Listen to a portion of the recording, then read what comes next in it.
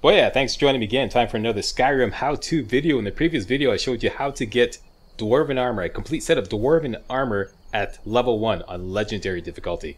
Um, great set of armor to have at level 1, and a great water cooler story, but um, is it really practical? Well, we're going to find out. In today's video, I'm going to show you how to get uh, slap together a set of steel armor that actually outperforms that dwarven set of armor we got in the previous video. Yeah, it's going to get a higher armor rating. And this is somewhat easier. In order to do this run, you have to be either an orc, a Redguard, or a Nord. Okay, those are the only three races where your smithing starts at 20 by default. Okay, so you have to do one of the have to start as one of those. All right. Other than that, there are no other um, requirements except it's going to be a hell of a lot easier if you acquire a Warhammer. All right, and you can acquire a Warhammer going through Helgen Keep if A, you go with Ralof, the blue guy, okay, you go with the Stormcloaks, and B, you have to kill one of your Stormcloaks in the Torch Room. This is the third battle that you engage in, okay? In the third battle you engage in, you encounter some of your Stormcloak buddies. One of them always has an Iron Warhammer, alright? You have to kill him. I know, I know, it really sucks. But that's the only way to get a Warhammer. It's either that or go with the, um, the Imperials, and then all the loot that you get is going to be worth a lot less, alright? And on top of that, you have to be a bit of a lootaholic. You have to, you know, like max out your carry weight and um, loot everything you possibly can. That's it. That's all you need to do this run. And we're going to get some kick-ass steel armor with an armor rating of 99. Let's get busy. First of all, let's get off our heavy armor. And put on our street clothes. And we're going straight for the Guardian Stone. You can see it on the compass there that little stone-like, black stone-like uh, icon.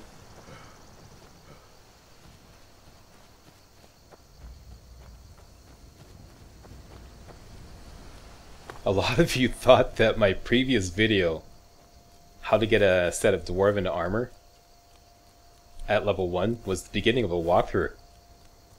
I'm really astonished, actually, that uh, some of you thought that you thought that it would start a walkthrough by not leveling up in Helgen Keep, not saying that it was a walkthrough, uh, not saying what kind of build I was going to do. That, that's very unslack. Very unslack. You guys should know better. I would never started a walkthrough like that. Okay, so we got the Warrior Stone happening. This is going to be a no companion run, okay? As many of you may or may not know, I can't stand using companions. They just get in the way and slow you down.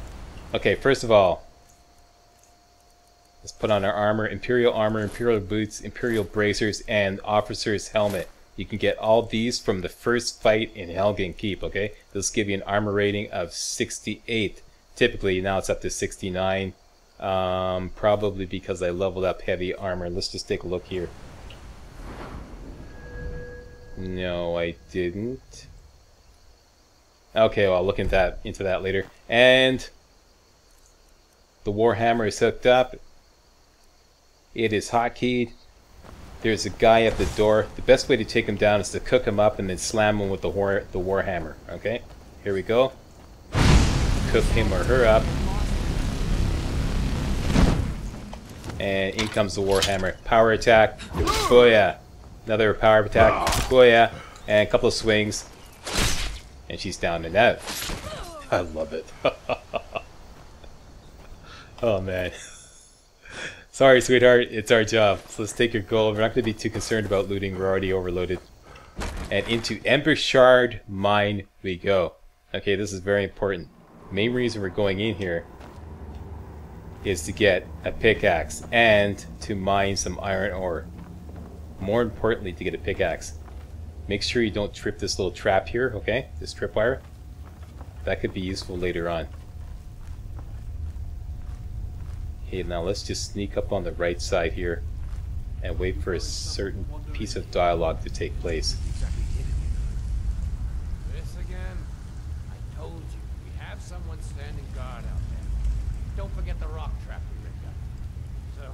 you're worrying and get some rest. Your shift is coming up, and I don't want you dozing off again like last time.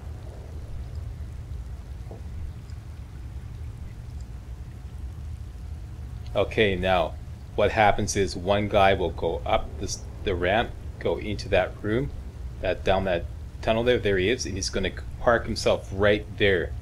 The other guy is down there and he's going to go to sleep. Best thing you can do now, put on your bow. Any kind of bow. Back up a bit.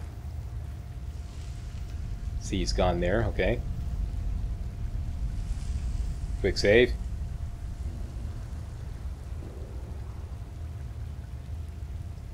Here he comes out there. Okay, and let me just freeze frame here. This is the plan, okay? What we're going to do is we're going to do a sneak attack with the bow on that guy in the room off to the left. He's going to come back around, come rushing at us. We're going to keep firing the bow at him, uh, arrows at him until he gets close. And when he gets close enough, we're going to cook him up with flames. Oh yeah, and by the way, you should hotkey potions. Any potions of healing. Then, we're going to go at the other guy with the Warhammer. Alright, that's the plan to take out these two guys. By the way, I'm playing on Legendary difficulty, okay? I just want to make show you that right now.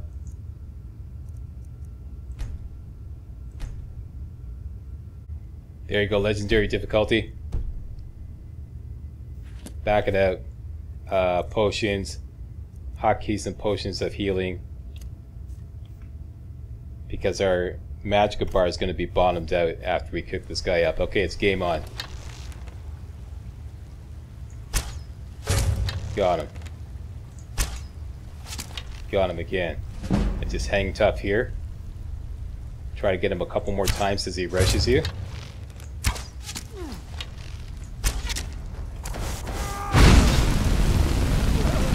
He's down. Take some potions to heal. Power attack. And just start swinging You should be able to take this guy down. And with a couple of potions of healing to help you along because your Magicka bar is bottomed out. That's it. Take the gold.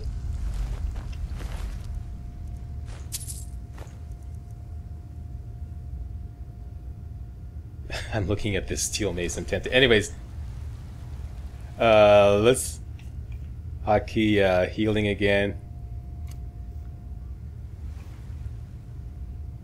Sorry, that was Mr. Fumble Fingers.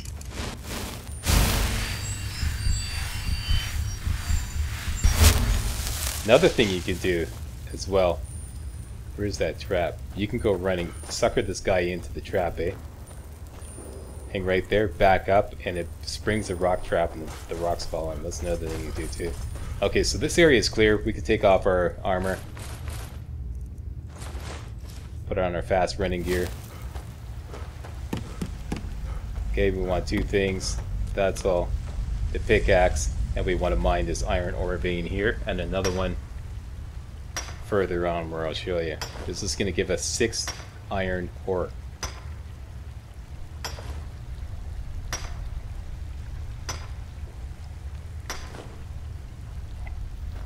There's three.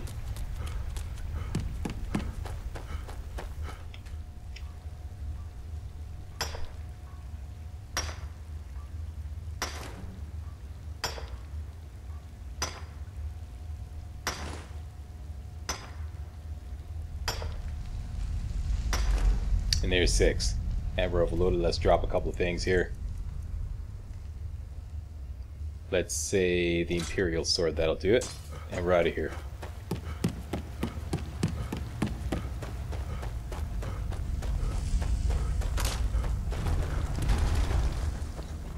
There you go, that's a cheap trick you could pull on one of the guys there.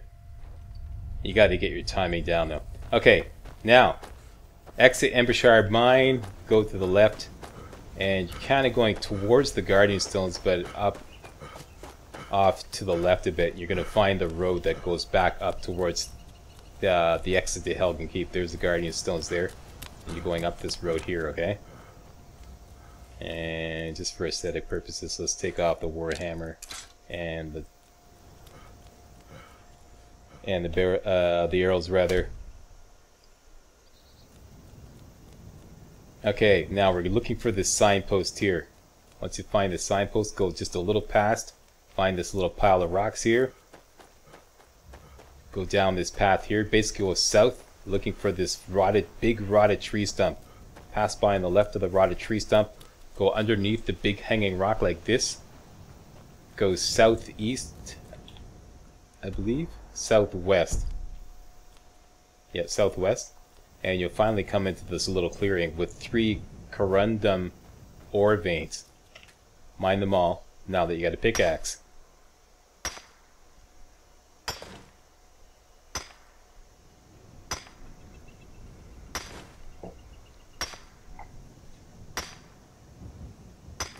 This is probably going to overload me again.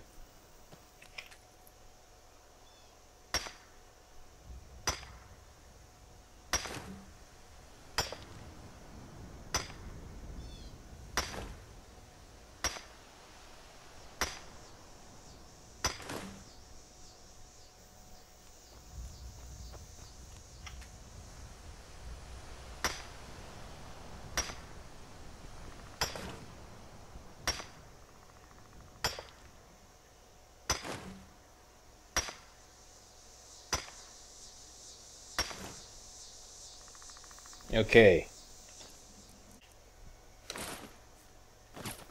That'll work. We're on the move. We are Oscar Mike. Back to the world map. Let's fast travel back to Embershard Mine.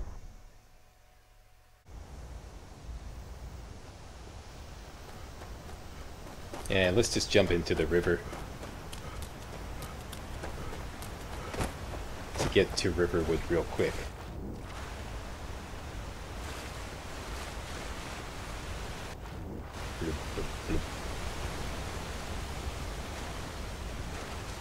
And this will also bypass uh, a pack of wolves up on the right there, which we don't necessarily want to deal with.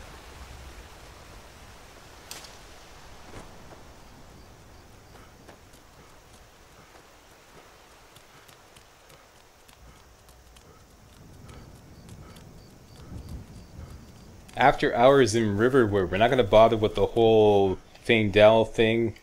Nothing like that. No companion run here. Let's just wait till morning and get the merchants open.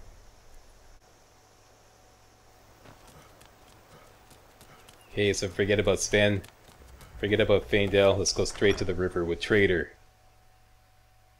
Well, one of us has to do something. I said no. No. Yeah, forget about uh, Bleak Falls Barrow, the whole thing. Let's just oh, do business. and a bit of that.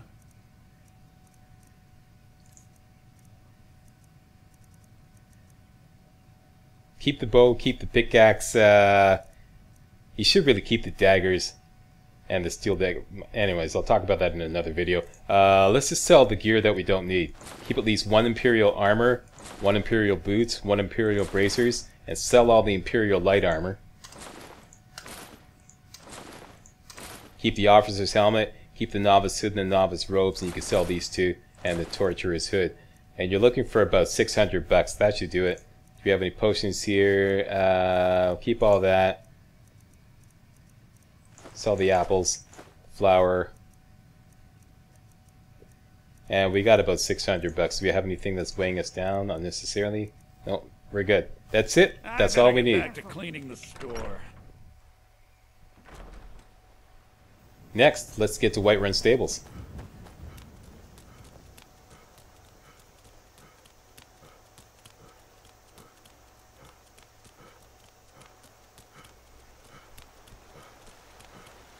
Now be advised, playing as an orc, I have this power here, Berserker Rage. This is kick-ass, eh? For one minute, once a day, you take half damage and do double damage, okay? Really kicks butt. That's going to be very important in the next little bit. You don't necessarily have to play as an orc, though, to do this. Okay, on goes the gear.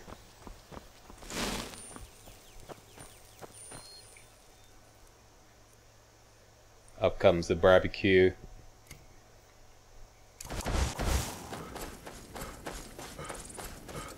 Take care of this wolf that's always here.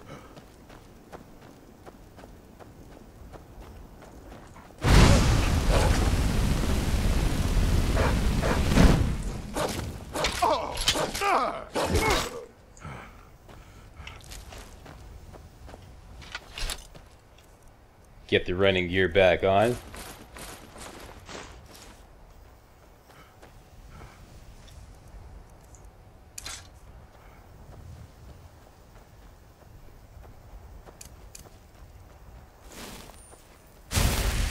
I love it.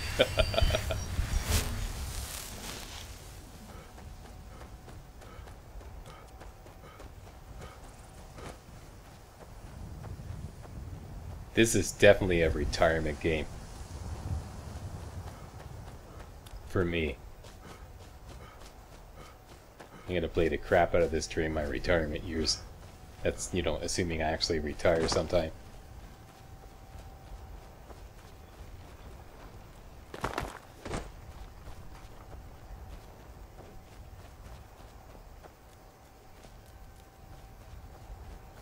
How many of you bought the Skyrim Special Edition? And what do you think? Post a comment. Okay, so that's that. We came here for the carriage so that we can hire the carriage to go to Riften. Climb and back, and we'll be off. Alright. If you've never been to Riften, be sure to visit the Blackbriar Meadery. Few mugs of dads, and you'll forget all. Okay, Riften Stables, here we are. Let's just wait till morning, get some nice daylight happening. Alright, combat gear on. We are going to, you heard the driver talk about the Blackbriar, Blackbriar Mead. We are going to the Blackbriar Lodge. At the Blackbriar Lodge are three mercenaries who always guard the place. And they always have, all three of them have steel plate armor. Alright, steel plate armor is part of the advanced armor tree, okay? If you go into smithing, you go up here. Advanced armor is right there. It's actually a heavy armor, okay? Steel plate armor is actually a heavy armor, okay? So they all have the chest piece for the steel plate armor. We're gonna get one of those for free at level one. Alright? And that is going to become part of our steel armor set. What's going on here? These look like friendlies. Okay, that's good. And I'll show you how to get to the Blackbriar Lodge. The Blackbriar Lodge. Too bad there's cloud cover here. Okay, I think these clouds are going to move out of the way. Let me just wait a moment here. Oh yeah, right about there. Okay, we're going to go down this here and up into this little kind of valley right here. That's where the Blackbriar Lodge is, okay? What are your thoughts on all this?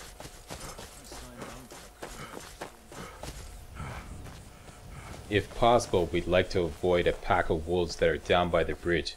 There's this road that runs along here. If you follow the outside wall of Riften, okay, down here, there's a road that runs right across here. And then there's a bridge right down to the south of the Blackbriar Lodge. And there's always a pack of wolves there. If possible, we'd like to avoid them.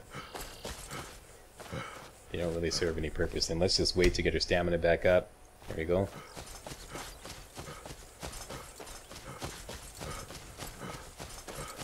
Here's the road.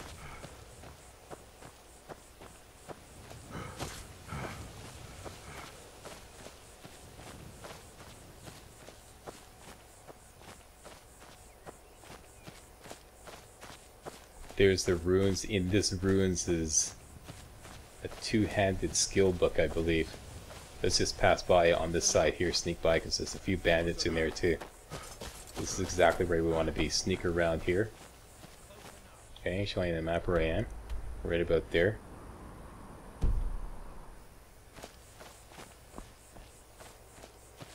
Up here. Right around the corner is the Blackbriar Lodge, just up the hill there. You can see it right there. Let's sneak right up on their butt. This looks like some Canis root. Let's grab that for the hell of it. Okay, we want to get up on the hill over here. And let's put on our bow. Should be hot hotkeyed.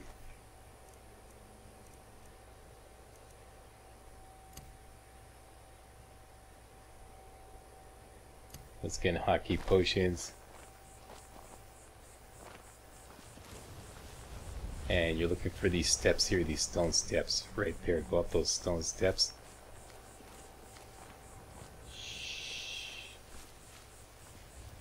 There's always two of these mercenaries out front. One is an archer, and one either has an iron axe or a warhammer. You can see the archer right there.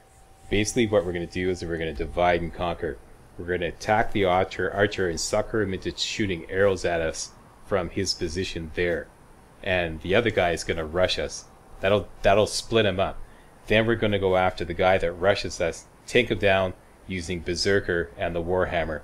And then uh, we're going to grab a steel armor and Bob's your uncle. Okay, that's the plan. Quick save. Let's do it. Okay, so the archer is the one further away.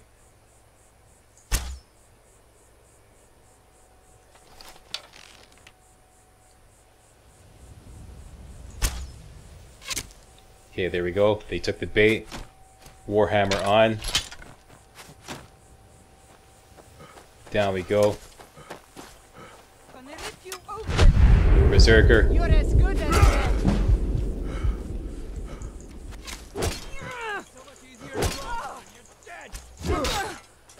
Down she goes.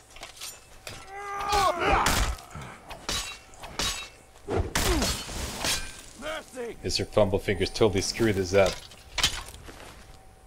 Okay, let's grab that and the steel plate armor. That's what we came after. Take the gold, everything else you can keep. Is anybody uh, looking for red dots here? Just want to finish these guys off. Now they've stolen the berserker here. No more. Here. I yield. I yield. Shouldn't attack me in the first place. There we go. Okay, a little bit of fumble fingeritis, but uh, no problem. Take the gold, take another steel plate armor. We should take everything actually, because uh, on that other guy, because we're empty now, so I could sell it. Still stoned on Berserker here. Here we go. Huh.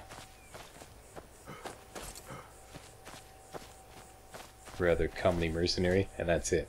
There we go. So now we have steel plate armor. There we go. So our armor rating now is 69 with steel plate armor. It bumps it up to 85. That's actually equivalent to the dwarven armor set. 85. If we could bump this up further by improving it. Let's go improve it. Back to the stables.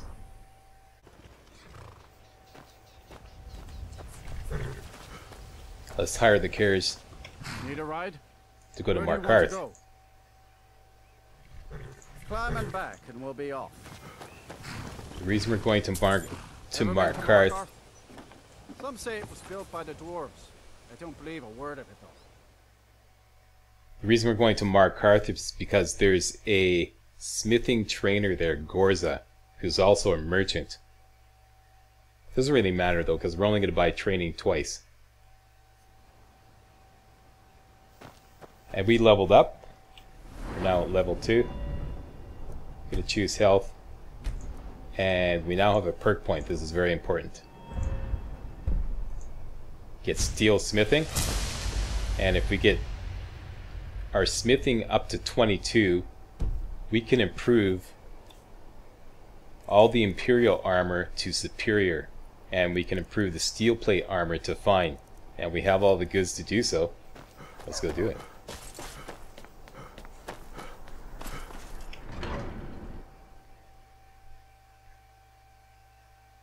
now I'm just gonna ignore Weylin the murderer. You all know the story with that. You kill the guy or you go whack Weylin and the authorities kill him and then uh, Margaret rewards you with a silver emerald necklace. We've been through that routine before. Let's just you know this is all about the steel armor. Just want to take this off so I can run faster. We're going down to the smelter. No lollygagging. I know what you're talking about officer. I wasn't gagging my lolly I never gag my lolly. That's gross. Okay, um, with your ore that you um, mined, you want to make one corundum ingot. Okay, that's very important. One corundum ingot and three steel ingots. All right. Okay, once again, that's one corundum ingot and three steel, steel ingots, okay? There we go. And three steel. That's that. Let's go up to the fort.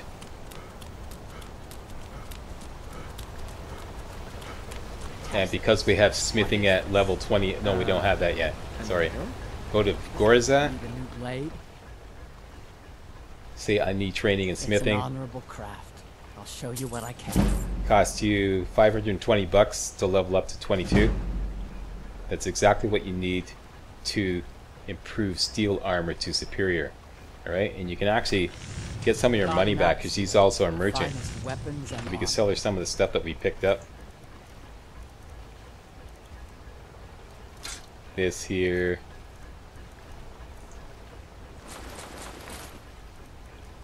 And one of the steel arm, steel plate armors. We can sell our imperial armor because we don't need it anymore.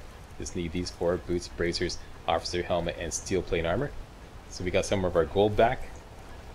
Uh, anything else we can sell here? No, let's just leave that alone. Let me know if you need And finally, use the workbench to improve everything. So, Imperial Boots at Superior, Imperial Bracers at Superior, Imperial Officer's Helmet at Superior, and Steel Plate Armor at Fine, using the Corundum Ingot for that. The other three require steel ingots. That's that. Let's slap that armor on. And there you go. Armor rating 99. As compared to armor rating 90 for the dwarven armor that we picked up at level uh, level one in the previous video. Okay, so that's how to get together some kick-ass steel armor, armor rating 99 at level two. All right. yeah, that's the name of my guy, Tombstone Pile Driver. There you go. I want to thank you all very much for watching, and if you thought this video was remotely entertaining and or informative, please subscribe to my channel to get more videos like this, more kick-ass Skyrim how-to videos like this in your inbox, hot off the press. Whenever I upload them, you're going to get notified that I, I did so, and you'll be one of the first ones to see it. Alright, see you next video.